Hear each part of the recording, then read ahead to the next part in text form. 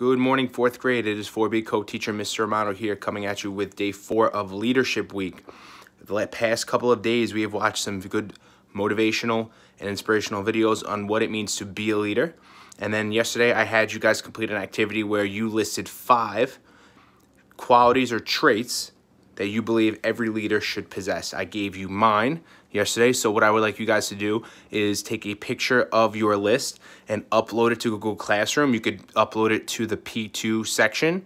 This way I can look at it and see which which qualities that you feel make somebody a leader. A leader is one who knows the way, goes the way, and shows the way. That last one is very important, shows the way. You can't lead by telling somebody, hey, go do what I said. That's not leading. That's bossing somebody around. You have to be able to show somebody the correct and proper way to do something. This way they can do it on their own, right? And they can be successful. That's what good leaders do. Good leaders make everyone else around them successful. They lift them up, they inspire them.